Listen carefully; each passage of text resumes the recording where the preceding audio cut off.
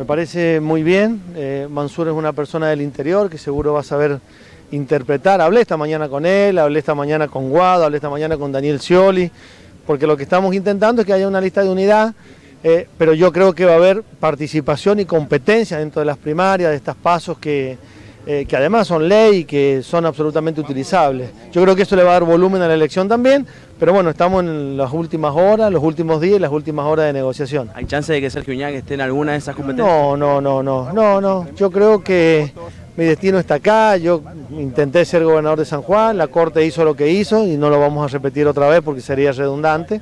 Así que lo que estamos haciendo es intentar, bueno, conversar con los compañeros, las compañeras, los sanjuaninos eh, y ver si por ahí alguna eh, candidatura legislativa nacional puede ser un lugar donde yo puedo ser un puente de aproximación entre el gobierno nacional, cualquiera sea quien lo conduzca, y el gobierno de San Juan, que yo estoy seguro que lo va a conducir Rubén Uñac y Cristian Andino. ¿Todavía no está definido si es senador o diputado?